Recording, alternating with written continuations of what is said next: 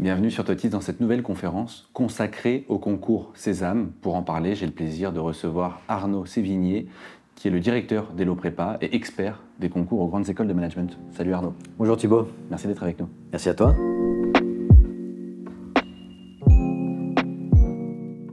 Arnaud, est-ce que tu pourrais rapidement te représenter pour celles et ceux qui te découvrent? Oui, bien sûr. Me concernant, je m'appelle Arnaud Sévigné, euh, diplômé d'HEC Paris, et une fois diplômé, je me suis lancé dans le secteur de l'éducation. J'adore ça, que ce soit les écoles, les concours, les élèves, euh, vraiment détecter le potentiel de chacun, euh, adapter les programmes à la personnalité, aux envies de chacun, j'adore ça. Donc en fait, avec mon associé Joachim Pinto, on a développé différentes business units ou entités. La première, c'est un institut de préparation au concours qui s'appelle Hello Prépa. Donc on prépare les lycéens, euh, des étudiants de Bac plus 1 à Bac plus 5 pour passer les concours aux écoles de commerce, euh, quel que soit le niveau d'admission. Et en l'occurrence, là, bah, on parlera du concours César, donc pour les lycéens essentiellement. Euh, ensuite, on a des médias étudiants, donc pour informer justement cette partie de la population étudiante sur ce qui se fait en école de commerce et sur aussi comment bien se préparer pour les concours. Et on organise des salons, donc en présentiel, dont par exemple le Grand Salon des grandes écoles qui a lieu le 6 et le 7 décembre 2024 à Paris. Merci Arnaud. Donc on va parler du concours Sésame. Juste avant, peut-être préciser que dans la bio, ils peuvent s'inscrire pour avoir un rendez-vous gratuit, c'est ça? Exactement, c'est un dispositif qu'on met en place à destination des parents et des élèves et des étudiants. Vous avez l'opportunité de bénéficier avec notre équipe d'experts euh, d'un rendez-vous de 20 minutes, gratuit et sans engagement. Euh, le lien est disponible en description de cette vidéo. Vous bouquez quand ça vous arrange, le jour et l'horaire, et nous, on vous renseigne que ce soit sur les concours, hein, les écoles de commerce, mais aussi sur votre orientation en études supérieures, sur Parcoursup. Bref, profitez-en, c'est gratuit et sans engagement, on le fera vraiment avec plaisir. Et si jamais vous souhaitez vous préparer bah, pour les concours Sésame, euh, le concours Sésame, on pourra parler euh, de différents stages de préparation au concours au sein de Hello Prépa. Donc n'hésitez pas et à très bientôt. Alors pour entrer dans le vif du sujet, est-ce que tu pourrais nous présenter le concours Sésame et rapidement les écoles et les programmes qu'on y retrouve? Oui. Le concours Sésame, c'est 16 grandes écoles de commerce qui se sont réunies pour justement euh, bah, faire passer euh, un, concours avec des épreuves écrites et des épreuves orales aux lycéens et au Bac plus 1. Euh, donc ces 16 grandes écoles-là proposent 19 programmes, parce que parfois il y a un bachelor, un BBA ou un master, on pourra y revenir, donc c'est un diplôme à Bac plus 4, qu'on appelle un bachelor ou un BBA, ou un diplôme à Bac plus 5, qui est le master grande école, et il y a des écoles qui proposent les deux. Donc c'est pour ça qu'il y a plus de programmes que d'écoles. Euh, on passe les épreuves écrites, ça c'est mi-avril. On a les résultats d'admissibilité pour savoir si on est au-dessus de la barre d'admissibilité. Et ensuite, on peut passer les épreuves orales. Euh, en l'occurrence, c'est courant en mai. Ça, c'est en présentiel dans chaque campus. Et les résultats définitifs tombent en juin. Et on choisit ensuite, selon les résultats positifs que l'on a eus in fine, bah, le programme et l'école euh, bah, qui vous a intéressé, qui vous a plu tout simplement. Alors justement, comment est-ce qu'on s'inscrit à ce concours? On s'inscrit euh, de deux manières. Enfin, en tout cas, il y a deux volets. Hmm. Le premier volet, c'est Parcoursup. Vous devez sélectionner un vœu concours Sésame avec autant de sous-vœux que vous souhaitez selon le programme, selon l'école, selon les différents tracks. En gros, c'est des spécialisations que vous allez faire à l'intérieur de vos programmes. Mais retenez bien un vœu pour concours Sésame. Une fois que vous avez fait ça, le deuxième volet, c'est qu'il faut payer les frais d'inscription à ce concours Sésame. Et ça, c'est sur le site du concours. Euh, vous payez les frais d'inscription, donc c'est cette année 295 euros pour toutes les écoles. Et si jamais vous êtes euh, boursier, vous bénéficiez de 50% de réduction. Mais il faut bien avoir en tête que c'est un montant d'inscription, de frais d'inscription, pour toutes ces écoles-là. Donc c'est quand même méga rentable. Donc on s'inscrit sur Parcoursup, un vœu, on paye les frais d'inscription sur le site, et ensuite on reçoit sa convocation pour les épreuves écrites. Justement, pour embrayer donc des épreuves écrites, est-ce que tu peux nous présenter comment ça fonctionne? Oui. Alors, il y en a pas mal pour les, pour les épreuves écrites, donc euh, accrochez-vous bien. Elles sont réparties en trois catégories. Hmm. Euh, ils appellent ça des séquences, donc il y a la séquence 1, la séquence 2 et la séquence 3. La séquence 1, la première catégorie, c'est comprendre. C'est le thème, et après je vais définir les, épreuves. Donc le thème de cette catégorie, c'est comprendre. La deuxième catégorie, c'est communication. La troisième catégorie, c'est analyser. Commençons par la première catégorie d'épreuves écrites, le premier pack entre guillemets qui s'appelle comprendre. On a enjeu contemporain, donc c'est un QCM, donc un questionnaire à choix multiples. On vous pose une question et vous avez A, B, C, D, vous devez sélectionner la bonne réponse. Ce sont des questions qui portent sur l'actualité de ces dix derniers mois. Donc n'hésitez pas, si je dois donner quelques petits conseils, à suivre Hugo Décrypte sur Instagram, à suivre l'actualité, à acheter peut-être des ouvrages avec des fiches sur l'actualité de l'année euh, en cours de votre saison scolaire. Ça vous permet d'avoir un maximum de dates, d'infos, euh, que ce soit dans la sphère du business, du sport, euh, des Jeux olympiques, de la géopolitique, de la science, des médias, de la culture, de la littérature. Bref, vous avez un certain nombre d'événements en tête, de dates clés, d'informations clés pour traiter cette première épreuve d'enjeux contemporains. Deuxième épreuve, mathématiques. Il ne faut pas en avoir peur. Elle s'appelle mathématiques, mais elle est beaucoup plus abordable qu'un autre concours, par exemple, qui s'appelle le concours euh, Accès. C'est une épreuve où en fait c'est davantage des énigmes. Ce ne sont pas des mathématiques pures, ce sont des petites énigmes à résoudre où c'est davantage du calcul. Donc il peut y avoir des fractions, il peut y avoir des ratios, il peut y avoir de temps à autre une petite dérivée par-ci par-là, bien sûr des équations, des systèmes d'équations, mais en tout cas, c'est vraiment à la portée de tout le monde si vous vous préparez bien.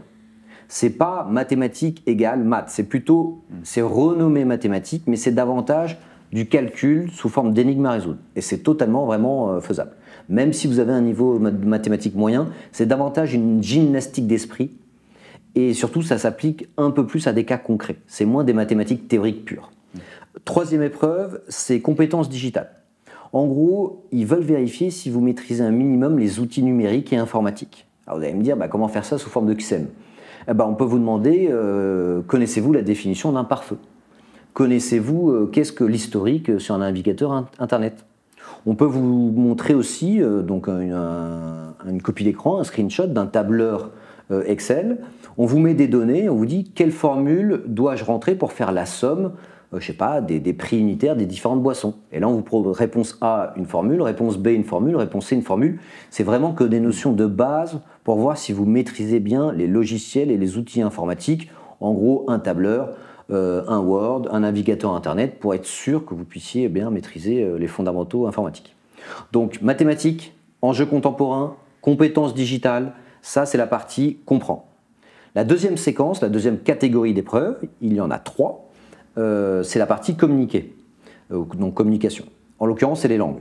Il y a du français, pareil, sous forme de QCM, orthographe, grammaire, conjugaison, concordance des temps, compréhension des sous-entendus, euh, des adverbes, des locutions latines, des proverbes. Donc c'est pas simplement bien savoir écrire français, c'est aussi comprendre les différentes nuances, les différents degrés d'interprétation que l'on peut faire à travers différents propos.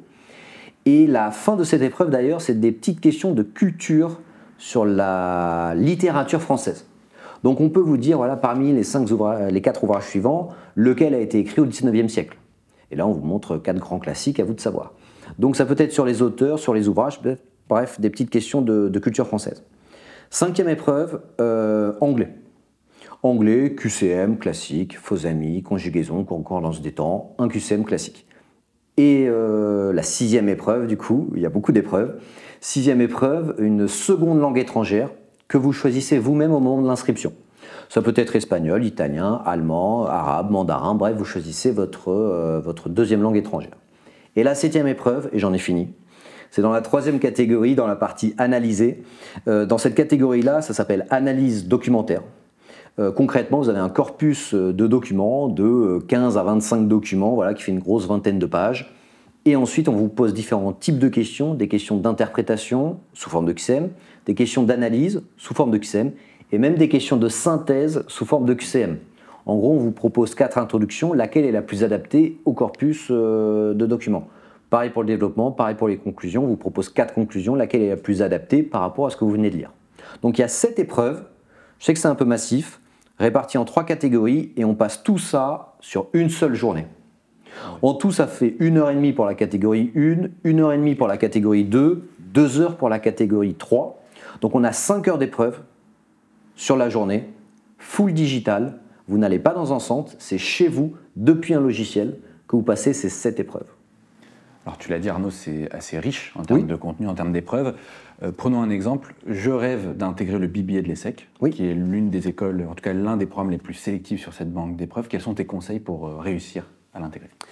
Le premier conseil, c'est de s'y prendre en amont. Tu as vu que c'était quand même assez conséquent en termes de, diversité d'épreuves. Et donc pour chaque épreuve, bah, imaginons qu'on prépare chaque épreuve sur deux semaines. Tu as sept épreuves fois deux semaines, ça signifie qu'en fait, il faut que tu étales ta préparation sur trois mois et demi.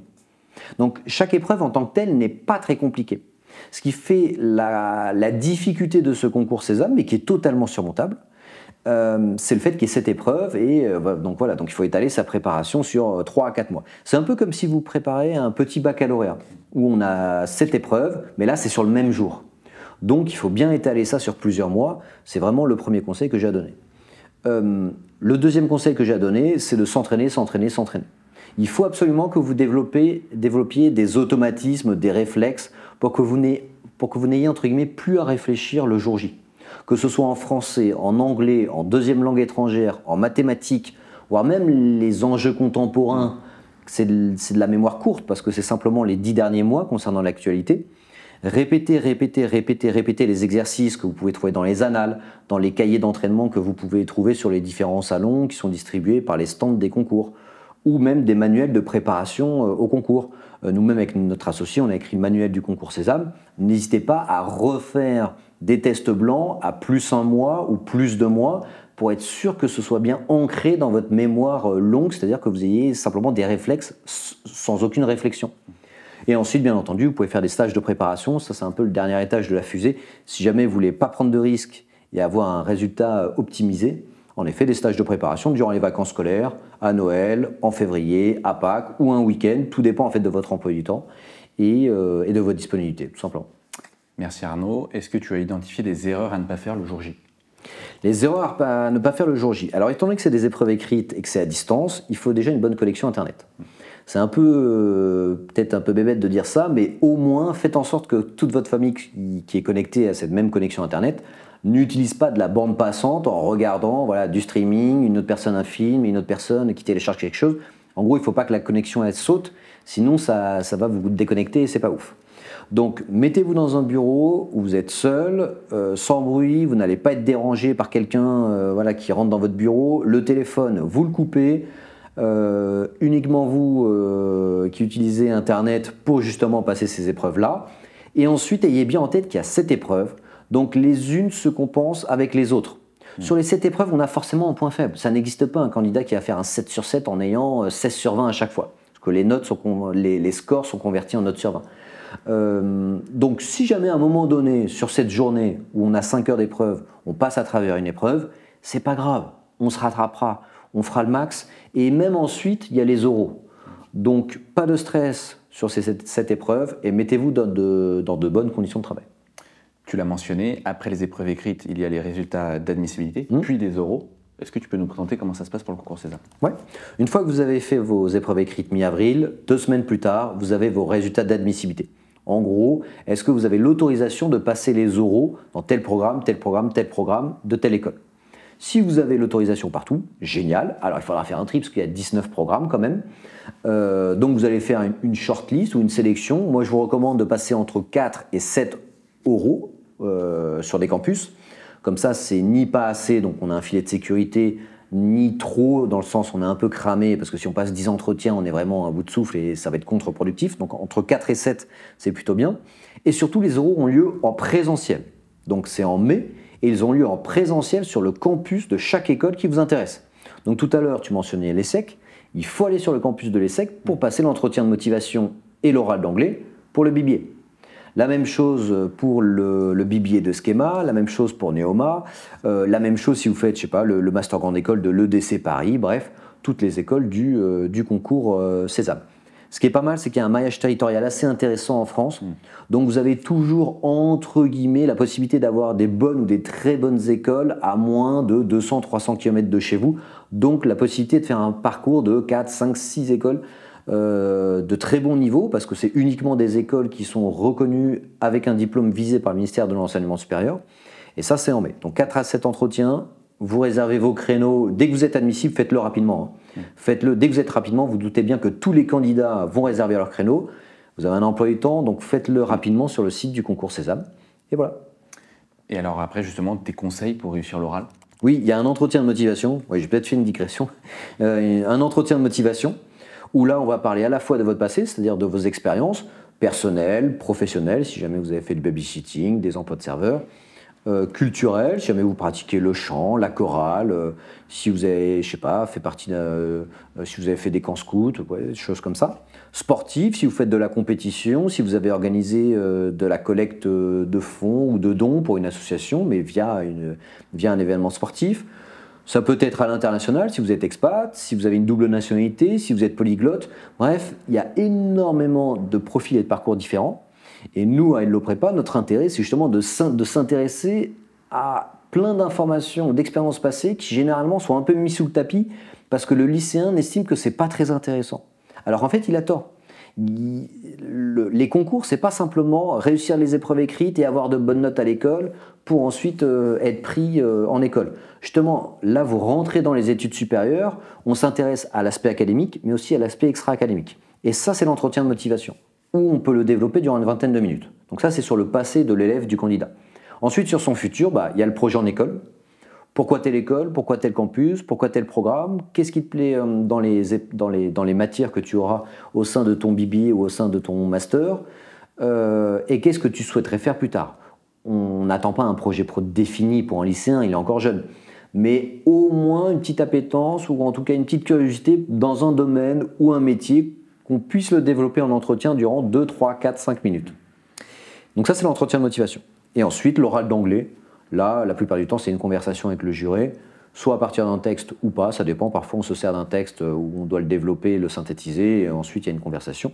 Ou alors, un simple échange avec un professeur d'anglais voilà, sur ses centres d'intérêt, sur ce qu'il souhaite faire en école. Merci euh, Arnaud euh, pour tous ces bons conseils et ces explications. Euh, je voulais avoir ton avis, ton regard sur une question fréquente, un choix mm. qu'ont souvent les lycéens et lycéennes, c'est d'hésiter entre, entre un PGE, un programme grande école, donc en 5 ans, d'une école du top 15, mm. avec un BBA peut-être d'une école du top 5. Quel est ton choix et qu'est-ce que tu recommandes aux lycéens? C'est vrai que c'est une question qui est très fréquente. on nous la pose souvent sur les salons, même en prépa. Déjà, il faut, bien avoir en tête qu'il n'y a pas un diplôme qui est mieux qu'un autre. Il y a un diplôme qui correspond plus à votre stratégie dans la poursuite de vos études supérieures qu'un autre. Donc en gros, chaque diplôme a un avantage et, des avantages et des inconvénients. Concrètement, l'avantage d'un bac plus 4, donc d'un bachelor ou d'un BBA, parfois les bachelors peuvent être en 3 ans, mais l'avantage d'un, parce que c'est un Bachelor of Business euh, of Administration, le BBA. Donc le BBA qui est en 4 ans, c'est une step intermédiaire, c'est un, checkpoint intermédiaire entre guillemets aux deux tiers de vos études, ce qui vous permet ensuite potentiellement de repasser des concours pour avoir une meilleure école ou pour réaliser peut-être une spécialisation dans une autre école parce qu'elle n'est pas proposée dans l'école du BBA. C'est une option. Donc imaginons, pour reprendre ton cas, j'ai intégré un BBA top 15, je monte en puissance au fur et à mesure de ce BBA en termes d'ambition, en termes de volonté de poursuivre mes études supérieures. Je souhaite intégrer une école du top 5. Je repasse les concours à Bac plus 4 et j'intègre un PGE dans une école par exemple du top 6 via les admissions parallèles. C'est une première stratégie. On peut aussi faire un BBA durant 4 ans. Le BBA, c'est le modèle anglo-saxon, et partir faire un MSc, ce qu'on appelle un Master of Science, c'est la spécialisation de master, en fait, la dernière année, c'est le modèle anglo-saxon à l'étranger. Donc je fais un BBA durant 4 ans dans une école française, et la dernière année pour avoir le bac plus 5, ce qu'on appelle un MSc, donc MSc en français, mais Master of Science, je peux le faire dans une fac au Royaume-Uni ou aux États-Unis. Ou alors je fais le modèle français, comme je viens de dire, le BBA, et ensuite le PGE, le bac plus 5 en France. Si jamais on fait ça, il faut bien dire au candidat, attention, tu passes une première fois les concours et tu vas devoir repasser pour, euh, faire un, euh, pour upgrader entre guillemets euh, le classement de ton école des concours à Bac plus 4. Il y a des étudiants aussi bah, qui ne souhaitent pas, à tort ou à raison, mais qui ne souhaitent pas en tout cas repasser des concours, qui veulent absolument être sûrs d'obtenir un Bac plus 5 et ne pas entre guillemets être remis en cause avec une step intermédiaire dans les études supérieures. Dans ce cas-là, vous avez tout intérêt à signer directement un Bac plus 5 et euh, donc un PGE. Donc vous passez votre concours César, vous intégrez une école qui propose un master, donc un PGE, et vous faites les 5 ans. Mais il faut bien avoir en tête que lorsque vous rentrez dans un PGE de 5 ans, vous êtes dans un couloir durant 5 ans. Vous ne pouvez pas décider à Bac plus 1, Bac plus 2, Bac plus 3, Bac plus 4 tout à coup de changer, de faire une passerelle vers une autre école ou vers une autre institution. Il faut vraiment un diplôme intermédiaire. Donc il y a des avantages et des inconvénients. BBA, PGE, tout dépend du classement de l'école, tout dépend de la stratégie, tout dépend de ce qu'on veut faire. euh, voilà. Donc n'hésitez pas en tout cas, euh, bah, si jamais vous avez des questions. Je fais une petite parenthèse hein, parce que là il y a plein de cas différents, il y a plein d'ambitions différentes. À, bah, venir par exemple au salon, euh, au grand salon des grandes écoles. Donc c'est en décembre, début décembre à Paris. Le lien d'inscription est disponible d'ailleurs juste en dessous de cette vidéo. Nous, on sera sur place. On n'hésitera pas une seule seconde à vous renseigner si jamais vous avez une hésitation, même avec d'autres filières, hein, parce que là, on parle du BBA, euh, on parle du master, ça peut être, je sais pas, avec un BTS, un BUT, etc. On n'hésitera vraiment pas à vous renseigner en toute objectivité, en fonction justement de, de ce que souhaite faire votre enfant. Merci Arnaud Sévigné d'avoir été avec nous aujourd'hui. Bah, merci à toi, Thibaut. Je rappelle que tu es le directeur d'Elo Prépa et expert euh, des concours en grande école de management. En tout cas, on vous souhaite bon courage à toutes celles et ceux qui vont passer le concours Sésame dans les prochaines semaines, les prochains mois. Et on vous dit à très vite sur Totis. Au revoir. Salut à tous.